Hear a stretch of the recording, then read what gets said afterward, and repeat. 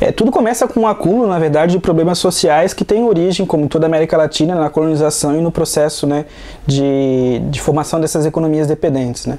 Então, a Guiana ela é, é um, um território ultramarino da França e quando se compara os dados sociais de lá com os da França metropolitana, a gente percebe uma grande diferença. Por exemplo, é, na Guiana tem um índice quatro vezes maior de homicídios que em Marseille. Então a violência é muito grande um em cada, cada quatro famílias está abaixo da linha da pobreza.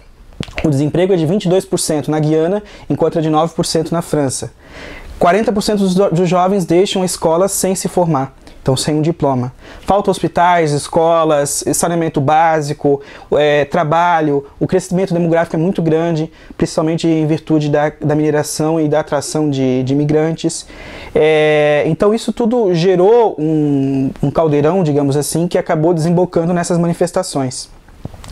É, essa estafa da população ela acabou sendo organizada através principalmente de duas organizações. Uma que é a UTG, que é a União dos Trabalhadores Guianeses, e a outra que é, é Les Cinq Frères, que são os 500 Irmãos, que é um grupo que se formou em fevereiro é, contra a violência, porque aconteceu um, um, assassinato de um jovem em Cayena, capital da Guiana, e se formou um grupo de pais contra a violência na Guiana. E esses são os dois principais grupos que estão mobilizando a, o povo de lá, ainda que hoje tenha se somado um, uma diversidade tremenda de grupos, né? desde os povos indígenas, lá são seis povos, até a Associação de Pequenos e Microempresários. Teve a greve geral, que mobilizou praticamente o país inteiro, gente vindo de todos os lugares para a capital e iniciou um processo de negociação. Como está esse processo agora? É, nesse processo da, da, da manifestação, né, é até importante dizer que foi, não foi só a greve, foi a greve, foi uma série de manifestações, foi o corte de várias é, rodovias, foi o, a, o aeroporto foi fechado, a, o acesso à base de Curu, que é uma base espacial que a França tem lá na, na Guiana, foi fechada também. Então, é, um país que tem 250 mil habitantes, um território do tamanho de Portugal, que tem 10 milhões, é, teve uma manifestação mais importante de sua história. Né?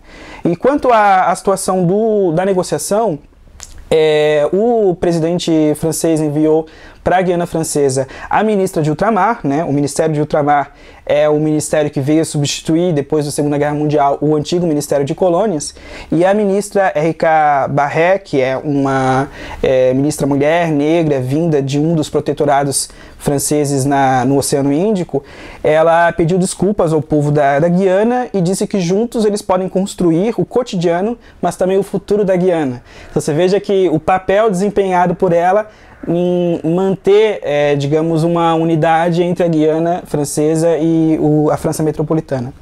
Ela teve lá junto com o ministro do Interior da França, eles apresentaram uma proposta de um bilhão de, de euros é, voltada para alguns dos pontos levantados pela, pela população. Só que o documento que foi apresentado pela população, que tinha mais de 400 páginas, ele elencava muitos outros pontos que não foram atendidos. Então foi uma unanimidade do povo rejeitar essa proposta. Eles esperavam no mínimo um pacote que tivesse 2 bilhões e 2 bilhões e meio de de euros, né? É, ela, a greve geral foi tocada pelo sindicato, é, a, União dos Trabalhadores Guianeses, que reúne 37 sindicatos do, do país, os principais sindicatos.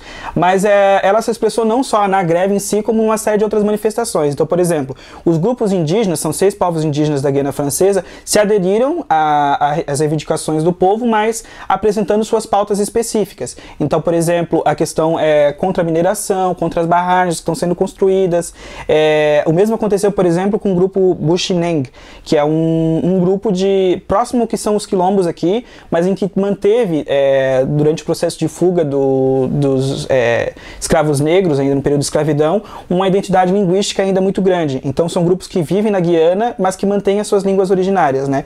É, mesmo sendo negros. E esses grupos também apresentaram as suas reivindicações. Na Guiana, já, na Guiana Francesa já existem dois partidos formais que são partidos independentistas.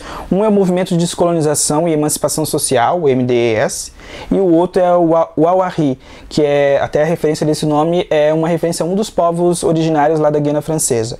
E esses partidos são minoritários diante do, dos, dos, partidos hegemônicos, que são inclusive partidos é, próximos dos partidos franceses, né? Partido é, Liberal e o Partido Socialista. E, mas é, é nesse momento, a gente percebe muito, por exemplo, a presença da bandeira da Guiana Francesa nas manifestações. Então tem um certo espírito de autonomia. Ainda muito ingênuo, ainda não tem uma organização que possa levar, por exemplo, a um processo de independência. Mas ele já tem uma noção de que precisam de mais autonomia e de que o Estado francês não trata eles como trata os franceses metropolitanos, por exemplo. É, e é importante dizer que isso tudo está acontecendo em meio às eleições presidenciais na França. As eleições presidenciais na França acontecem ainda em menos de um mês e é, isso tem afetado muito lá, né? É, inclusive na mídia francesa, é, parece que é, se descobriu a Guiana hoje, a Guiana Francesa. Até então não se sabia o que era a Guiana Francesa. Alguns chegaram até a achar que era uma ilha, quando na verdade é um território do tamanho de Portugal. Então isso revela um certo desconhecimento e desprezo da, Guia, da, da França metropolitana pela Guiana Francesa. Como é que tu analisas isso, né? Sendo ainda uma colônia encravada dentro da nossa América? É, isso até a gente pode analisar desde uma perspectiva da geopolítica, né? É, o que, que tem de especial na Guiana Francesa, né? A Guiana Francesa é um ponto de mineração do ouro, isso inclusive atrai muitos brasileiros para lá e chegou a levar o Estado francês a, ao mesmo tempo em que para viajar à França metropolitana fazer turismo a gente não precisa de visto, para conhecer a Guiana Francesa você precisa de visto. É o único território que pertence à França em que um brasileiro precisa de visto. É, a, a, a, Guiana tem 98% do seu território coberto pela floresta amazônica. É um, um, espaço de biodiversidade tremendo e lucrativo, que pode ser utilizado desde a indústria de, de, de cosméticos até a indústria farmacêutica. Né? É um espaço de turismo também. Lá está a base espacial de Kourou, que é uma base que pertence né, à França e atende à Agência Espacial Europeia.